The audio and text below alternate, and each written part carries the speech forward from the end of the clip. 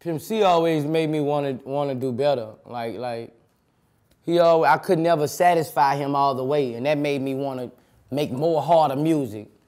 You know, and he told me that after years and years. He said like like like I would bring something in there, he'd be like, "It's alright." You know, that motherfucker alright. Even with my bitches, I would bring round. You know, the bitch feet, the bitch feet ain't right. You know, shit like that. So you know, he always used to tell me when I used to bring him the music, he wasn't doing that to be arrogant with me. He was doing that to make me stronger. He was doing that to make me say that's not my best and keep on going. You know, I would know this motherfucker jamming. He would walk in there and it's alright. And walk out smoking it, you know.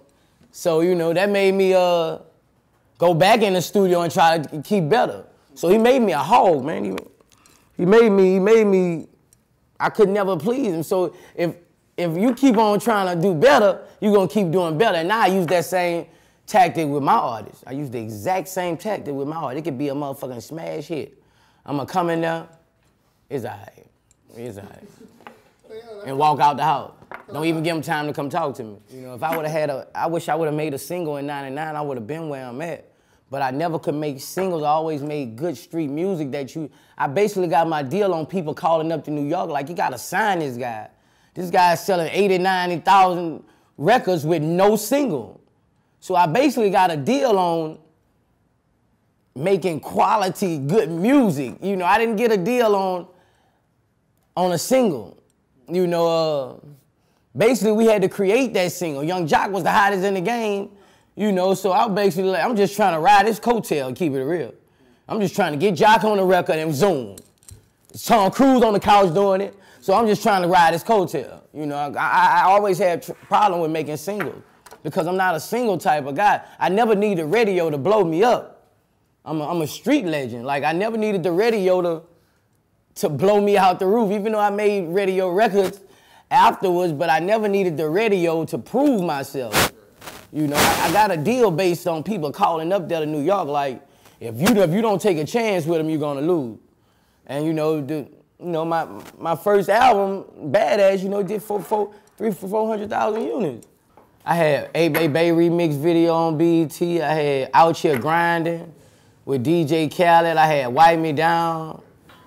It just started taking off nationally. Like, uh, I was going places that I wasn't going before. You know, I was going performing in Alaska. You know, and, and, these, and these places sold out. You know, so. Uh, it took the, the, national album. You know, I had I had a, I had major distribution in, so people was hearing my music. A lot of people was like, you know, when they first heard the album, like, man, this guy, he, he got some nice music, and then that made people backtrack, and that's what got that's what really got my fans when they was like, oh six, damn, he been out seven years. Why we ain't heard him? You know what I'm saying? But that that badass album took me nationally. It took it took me places I'd never been before, and it opened up people's eyes. What's your relationship with Trill itself?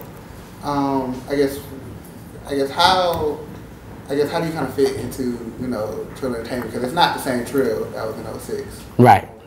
Uh, well, basically, I'm like the, the the head honcho, man. Like you know, I'm the one. I'm the one moving, moving, doing doing what he got to do. Uh, so right now, I'm just. Uh, now I'm a lot focused on my badass music and syndicate, but I'm still over here too. Uh, right now, uh, we finna get Webbie back up there and running. We trying to drop his Savage Life 5 next month. Getting him, a, we gonna probably lose Problem as his single. But uh, right now, it's still good business. Right now, you know, at, at first it was shaky business, you know. When we came out, like, you know, we reconstructed the deal. You know, I got what I wanted. You know, so it came out smooth, man. It's, it's business. Yeah. You know? Because, you know, it seems like a lot of stuff was going on while you were in jail. Right. With Trill from, you know, the charges that and Mel had. Right. And even, you know, for the murder of Lil Fat. Right. I guess, how were you dealing with that while you were in prison? I was like, man, bro, like, I was just like, man, we going through it. I was like, man, we going through it. Uh, when Turk them beat they charge, I was smiling. You know, I was sitting in my cell. I was on death row then. I was smiling, man. I was so happy, you know. I was like, we beat them bitches. You know, I was, I was smiling. I was happy as shit. Uh, but when Fat died, I was like, damn, bro, here we go again. You know, uh, then Webbie was spiraling out of control. That was pissing me off. You know, that was, I was getting, I was getting so angry in there, man. I was getting, they try to ban Webbie from BET. I was just getting so angry in there because I wanted to be by his side and, and strengthen him, man. You know, I just felt like when I left, you know, Webbie ain't have his his sidekick with him, bro. And um, I ain't like how I ain't like how people was trying to shit on my dude. Period. You know, he a star, man. Um, you know, everybody go through it, and I ain't like that shit at all, man. You know, so when Fat died, I was like, you know, uh, rest in peace, Fat. I was like, you know, we just going through it right now. I feel you. So you know, you talk, you know, you kind of just kind of gave a, a look into what was going on, you know, outside. Uh, I guess how did even being in jail something like you know affect you know just you know your family outside? Because I know one of the first videos that I found funny was the whole you know I told y'all niggas. Yeah, yeah. yeah. so guess, you know, how did that kind of fit? I guess what was going on, you know, on the outside, or was that kind of difficult to deal with? Because it's kind of like you're not there. Yeah, yeah, it, it, it was hard because uh, you know my kids every birthday, every every Christmas, they they got everything, but without me, they wasn't all the way happy. You know, like you can give them what they want, they ain't got their daddy. You know, like I used to flood them with stuff for their birthday to try to replace that, and they still come up there and not talk about their birthday so much, but when you coming home, you know. So you know, money is not everything. You know, money is not everything. That's what I learned. You know, I, I couldn't make my kids totally happy without me being there by their side. And you know, it affected my whole family, man. It made my family argue with each other. You know, cause I'm I'm the, I'm the go-getter in my family. Like I'm the I'm the rock of my family. I take care of a lot of people. You. So you know, you mentioned your partner in crime, Webbie. Yeah. He, he was spiraling out of control. Yeah. Um, I guess what's that working relationship with him now? Um, and will we ever see a, a Ghetto Story sequel? Maybe. Uh, I want to. I want to. Uh, I want to. With, with, with me and him working, uh, we just got just got to get him in the studio and, and, get him focused. You know, uh, once we get in the studio, we're gonna make magic. Period. Uh, we're a hell of a combination. Um, but when I work with him, it, it's just like you know, it, it bring all the memories back. We done been through so many memories together, so. You know, we're gonna try to, we, we, we trying to get in here and work on this gangster music too. Because the world wants the gangster music too. Uh, we're gonna try to get in here and work on that. And uh, I'm ready, I'm ready. I, uh, you know, and right now we putting together, putting us on the same venues right now to build that hype again. Uh, we just dropped the Problem uh, video. We got another video we finna drop. And uh, we coming, we coming, you know. We, I love to do a ghetto stories too. Uh, but right now I'm focusing on my movie, my life story movie. After the March Project, Thug told me and C Murder dropping the album called Penitentiary Chances. That's dropping April 15th. Uh, May I'm gonna come with the national album. May or June I'm gonna come with the, the big Atlantic album. Um, Boosie Badazz, bigger and badder than ever.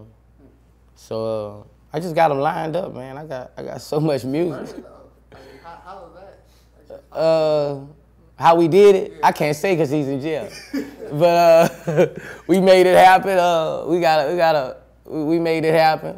We recorded a CD. Uh, it's called Penitentiary Chances, and uh, it's basically what we was going through, man. It's like, What's it like watching his case? His case had. oh, his case is bullshit, man. I read his case, man. He has they has nothing on him, but he say she say. You know, he had he was he was tall with goals in his mouth. You know how many damn people tall with goals in their mouth in New Orleans? you know, uh, no gunpowder residue on his hands. You know, bad case, man. He just made you know just you just see murder. You know, he made the example out. Try to make an example out of him. You know, he's been fighting for 14, 15 years, and his case is. But he's in a bad parish, Jefferson Parish, who hates him. Uh, he had another case in Baton Rouge that they kept showing on the news that I felt like his lawyers shouldn't even let them show that because that's what really got him convicted. His case they was showing on the news, but uh. You talking about the footage? Yeah, yeah. Rags, right? Yeah, at Club Rags. That's what like he wasn't even on trial for that. You know, and you showing this on every time his trial come up. You know, to a jury, you just painted that picture. This has nothing to do with what happened at this uh, bowling alley, or whatever this shit is. You know, so uh, I just he, he was he, he, he got the bad he got the bad end, bro. But uh, think Master P back on his team, and uh, they got they getting some people from the Shapiro uh, law firm, and uh, we're gonna try to get him out. We're gonna fight for him because I want to see him home, bro. Cause you know he was my bed partner for two and a half years, and and when you when you when you cl- that close to somebody for that long, he become like your brother, man. You know, y'all with each other every day. We worked. We worked together. Our jobs was together. Both of us worked in the kitchen. Uh, and I just won't see him home, man. You know, and Louisiana got a bad, bad judicial system, man. They sock it to you, man. Like, So what's the plan for you know the big Atlantic album? Atlantic album. Um, I guess I know you. I know you got to be working with some heavy hitters. uh, I just did a record last night that I want to get Rihanna on. It's called uh, "Do What I Want to." I'm thinking about leaking it on the uh, internet and, and, and hashtagging Riri if I can't get if, if Atlanta can't get her. But uh, uh, I got another record I want to put Justin Bieber on. It's just you know, it's just me. I think I feel like if I can get in contact with these artists without management involved, it can go down. But uh, I just feel like you know a lot of people be skeptic about working with Boosie. You know, I, I don't I don't know why, uh, but I don't know if they, they feel like I'll put a bad image on them, uh, uh, uh, rough guy image on them. But I like to I like to get in touch with people and be direct contact with them. When managers, when the middleman gets involved, that's when the problems come. You know, like if, if, if both of us get money, we can we should be able to talk on the phone with each other and make this happen. But uh, it's a lot of people I won't work with on the album. But if not, you know, I, I don't need no one. You know, I don't, I don't need no one. I, every, every song I have that I want a verse on, I have an extra verse to put on it just in case they don't get on it. I always do that. Like before I even, I don't just leave the verse open. I'm gonna knock that verse out, and I'll just, eh, okay, you don't make it, you play games with the paperwork, fine. You can get exposed. Hope you got your hitters, let them know. Nigga, you fucking with a problem. We be throwing